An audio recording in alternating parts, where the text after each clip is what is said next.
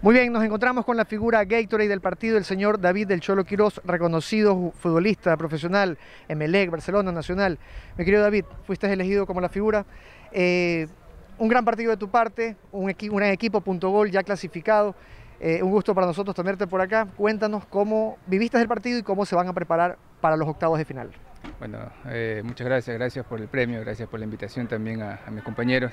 Contento de estar acá, sé que es un torneo bastante importante dentro de Guayaquil, eh, por todo lo que se venía escuchando. Eh, espero que sigan así, yo creo que están haciendo una, gran labor, no solamente en la parte deportiva, sino en otros aspectos. Así que les felicito de antemano, contento de estar en este torneo y bueno, felicitar a mis compañeros por el gran partido que se hizo hoy. Eh, David, ¿cómo ustedes se preparan en la semana? Si bien es cierto, tu equipo tiene muy grande, eh, muchas figuras, muy buenos jugadores eh, como tú, ¿ustedes se reúnen, eh, entrenan o lo hacen individualmente? No, bueno, hay días, dos o tres días por, por semana, a veces nos reunimos, tratamos de, de irnos conociendo porque eh, somos extraños, somos extraños. Este, yo creo que eso ha hecho que el equipo sea un poco más compacto, más fuerte y que venga demostrando cosas importantes en este torneo.